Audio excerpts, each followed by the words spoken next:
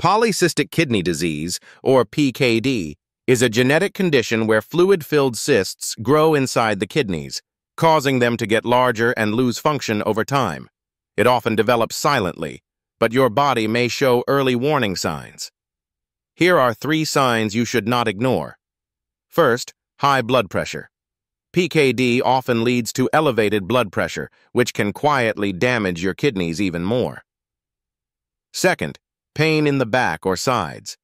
This discomfort can be caused by growing cysts or kidney enlargement. And third, frequent kidney infections or blood in the urine. These are signs your kidneys may be under stress and not functioning properly. Polycystic kidney disease can lead to serious complications if untreated. If you notice these signs, talk to your doctor early. Proper care can help slow down its effects and protect your kidneys.